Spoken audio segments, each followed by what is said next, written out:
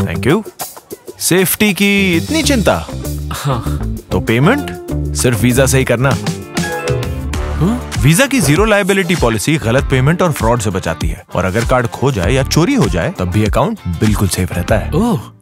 Tap to pay with Visa safe रहने का smart तरीका।